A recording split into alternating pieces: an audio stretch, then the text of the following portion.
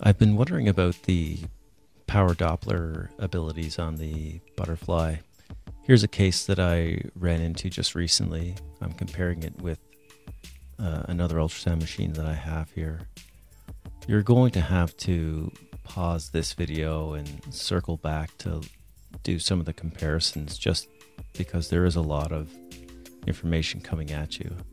The key points here are that in general, the Butterfly has a lower megahertz transducer frequency than some of the other high frequency transducers, and therefore the low flow capabilities of these transducers are not really optimal for some really subtle synovitis that you can see.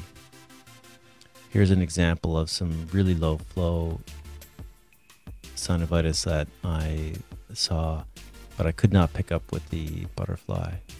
Here's the volar wrist, and the difference here is that some flow in the flexor carpi radialis tendon is just not seen with the butterfly, whereas it is seen here, and particularly in this image here. And we'll compare it to the butterfly in a second or two.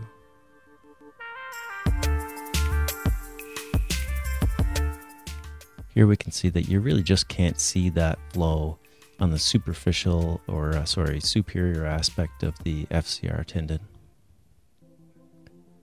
There's just one little blip that occurs about right here over that superior aspect of the tendon, but it comes and goes and I really couldn't get it to work like I wanted to. So in summary, I think that for the most part, you're getting good results out of this transducer from a Doppler perspective. Certainly for subtle cases of synovitis where you're looking for hyperemia, and if you're using this in a day to day rheumatologic or MSK practice, I think it's reasonable, but it's certainly not ideal.